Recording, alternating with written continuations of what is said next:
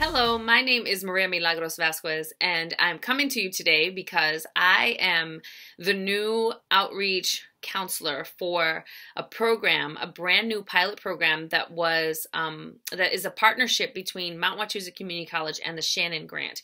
And the program doesn't have a name, so I've decided to name it the Senior Success Program because that just feels nice. And um, so that could change. It's just a working title, but I wanted to share a little bit about the program so that other people who um, are interested or who wanted to know more about it could know what it is before they start recommending or referring seniors seniors. So essentially, a senior, a high school senior, will apply for the program and they have to fill out an application and then we do a quick phone interview just so that they're aware of what they're getting themselves into because I will be holding them accountable. And um, the parents also have to be involved and agree to the kid being part a participant in the program.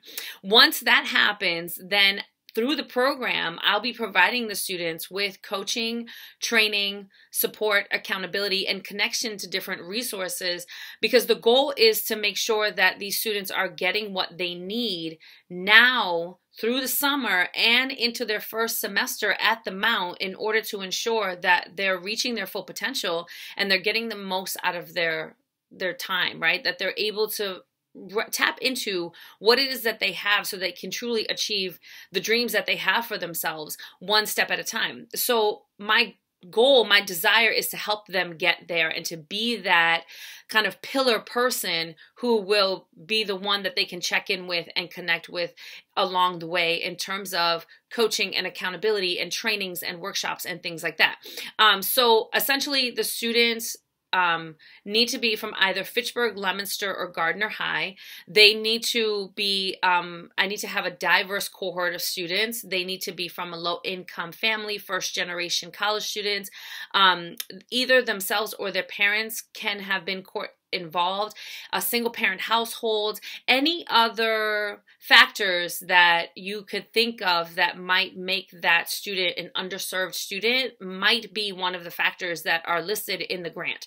Now, the thing with grants is that they're very specific in how they're written, and so we have to meet the criteria of the grant in order to receive the funding to do the work and to do the things that we want to do with these students. That doesn't mean that other students aren't deserving of these same supports. It just means that this is specifically what this grant is written for.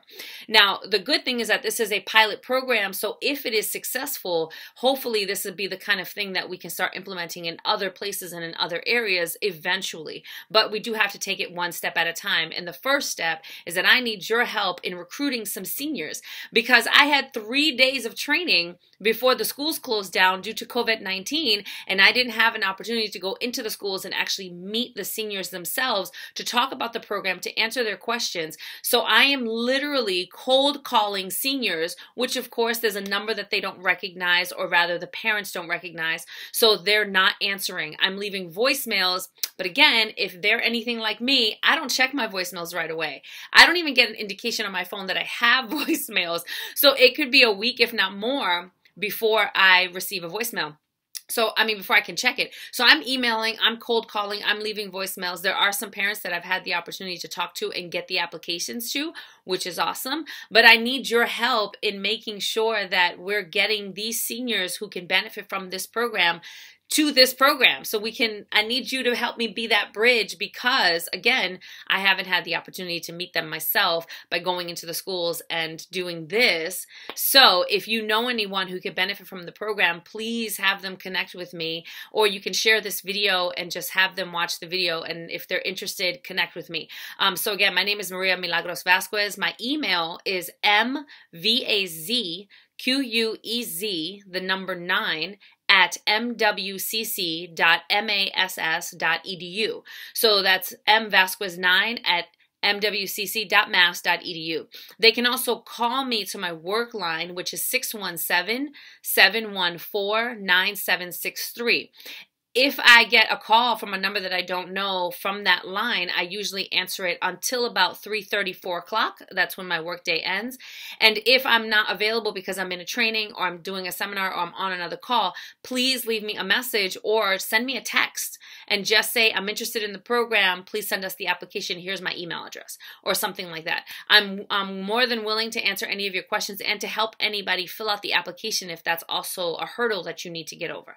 So again, please reach out if you know of a high school senior from either Fitchburg, Leominster, or Gardner High who would be interested in participating in this senior success program so we can get started immediately, if not sooner. Okay, thank you so much.